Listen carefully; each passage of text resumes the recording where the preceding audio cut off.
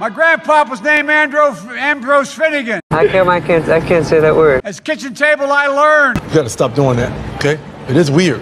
My used to say, Joey, nobody's better than you. What did you expect? You're no better than anybody else. You're a bumbling, inept fool. And you got a little bit of a chip on my shoulder. You disgust me. How can you live with yourself?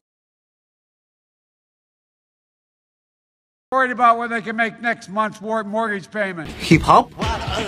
Hip hop anonymous? It is what it is because he is who he is. That's why it is what it is. It's a great question.